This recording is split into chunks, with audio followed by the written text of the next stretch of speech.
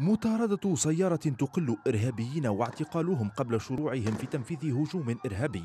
مشهد يجسده هذا التدريب لجهاز مكافحة الإرهاب التابع لقوات التدخل السريع ويندرج ذلك في إطار الاستعدادات المكثفة التي تقوم بها وزارة الداخلية التونسية للتصدي لأي خطر إرهابي محتمل قد يتزامن مع احتفالات رأس السنة الميلادية.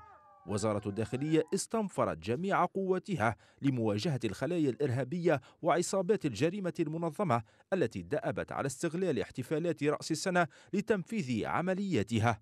عملية تدخل باش نحط التطبيق نتاعنا اللي هي من الفرقة نتاعنا إضافة للتطبيق البعيد هذا إذا استعملنا ثمن صغيرة تخدم معنا نحطوا عبادنا اللي باش تخدم باش تراقب ونلصقوا مع بعضنا ونبدأو نعملوا عملية المداهمة جهاز مكافحة الإرهاب التابع لإدارة التدخل السريع بوزارة الداخلية سبق له أن قاد خطط التصدي لكبرى العمليات الإرهابية التي شهدتها تونس خلال السنوات الماضية وهو يضم عناصر تتمتع بقدرات قتالية عالية ولذلك أسند له الجزء الأهم من خطة تأمين احتفالات رأس السنة الميلادية. هذه السيارة هي دورية عادية.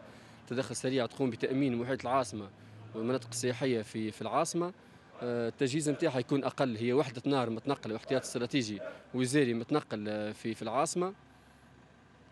الاصحى نتاعو تكون أقل ويكون هو الاستجابة الأولية والرد الفعل الأولي لأي عملية إرهابية.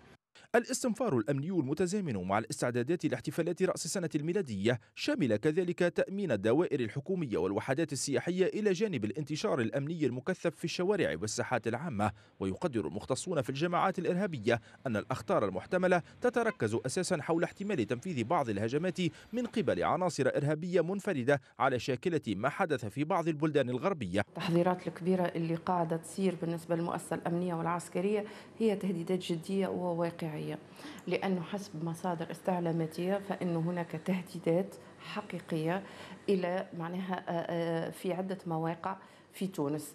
لهذا هناك معناها حالة من الاستنفار الأمني والعسكري. جهود وزارة الداخلية شملت أيضا خلال الفترة الأخيرة تفكيك عدد هام من الخلايا الإرهابية النائمة وذلك في إطار الخطة الاستباقية الشاملة لمحاربة الإرهاب.